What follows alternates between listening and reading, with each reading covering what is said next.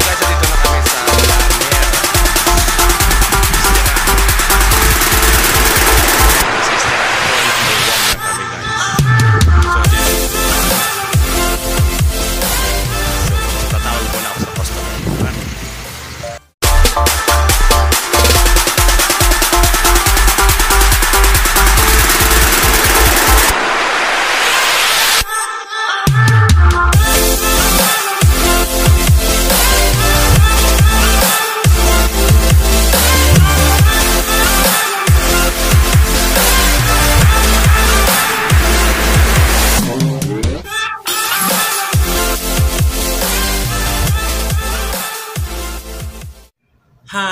I'm Joey Natividad, a flower designer, a content creator, and a blogger.